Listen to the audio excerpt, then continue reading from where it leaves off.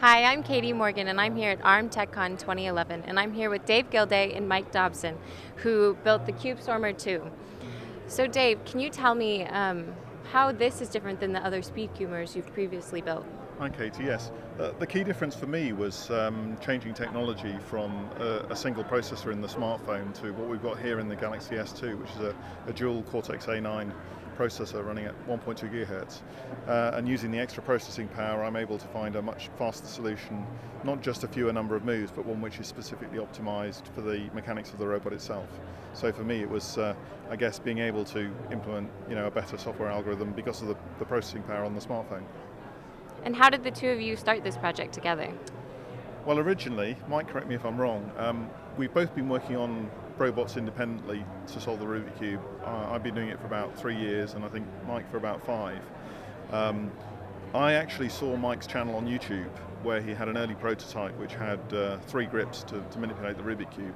Uh, this was before I'd done the Android Speedcuber, uh, and I was inspired to, to try and build one that was faster at the time, and I used his idea and extended it to, to have four grips.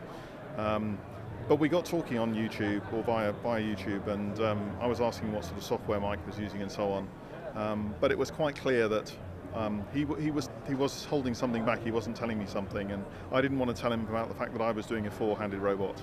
Uh, and eventually, um, we just sort of decided, you know, we, would tell each other, so I, I said to Mike, you know, i have got something to confess. And he said, well, um, actually, before you do, I've got something to tell you. I'm working on a four-handed solver. Uh, and I said, that's, that's a coincidence, so am I.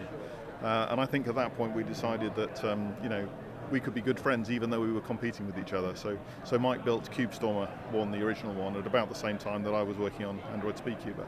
So it was really because we were both doing the same things and we got to know each other through, through the internet. Mike, what's the biggest improvement you've seen from this partnership?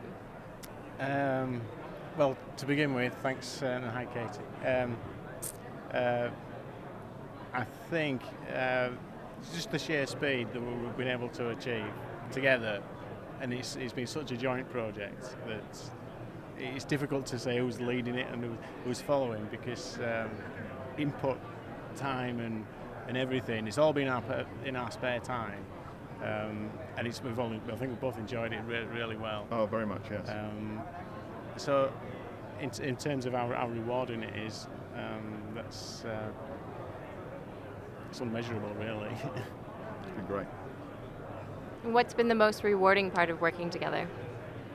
I think for me, um, actually the, the thing for me is working with Mike. I mean, it's as Mike said, it's been absolutely great fun working on this. And I'm very proud to be able to, to be here with Mike today. Um, I was here last year on my own, and it's it's much more enjoyable being here with uh, a partner that's worked on such a, an amazing creation with me. So yes, thanks Mike for coming along. no worries. Good, well let's take a look at the Speedcuber 2 in action. Okay. okay, Mike, do you want to give a quick demo? Sure.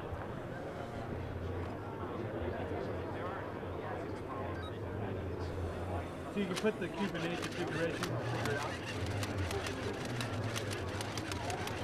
Hey.